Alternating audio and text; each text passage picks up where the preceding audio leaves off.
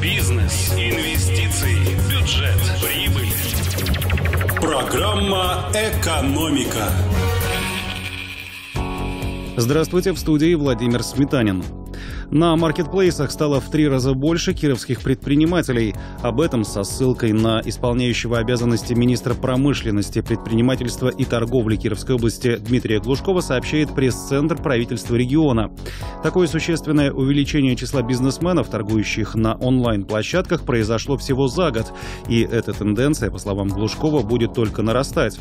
Отметим, в Кировском центре «Мой бизнес» проходят бесплатные обучающие курсы для предпринимателей по правилам ведения ведения бизнеса на интернет-площадках. Пройти их могут как начинающие, так и действующие бизнесмены.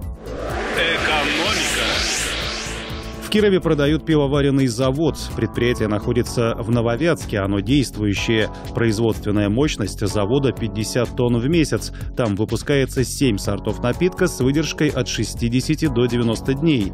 На предприятии работают 12 человек. Стоимость готового бизнеса продавец оценил в 95 миллионов рублей. В эту сумму входит само здание производства, склад, земельный участок, скважина и ряд других объектов. Отметим, что в прошлом году пивоваренный завод уже пытались продать. В эфире «Экономика». На участие в программе арендного жилья подали заявки четыре предприятия. Это заводы «Нововятка» и «Маяк», а также электромашиностроительный завод «Велконт» и «Галополимер Кирово-Чепецк», сообщает областное правительство. Начать строить арендное жилье для работников промышленных предприятий и бюджетных организаций планируют в 2024 году. Программа арендного жилья нашла поддержку на федеральном уровне. Региональные власти видят в ней механизм помощи сотрудникам и способ привлечения квалифицированных кадров в нашу область.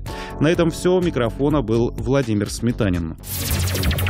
Программа «Экономика».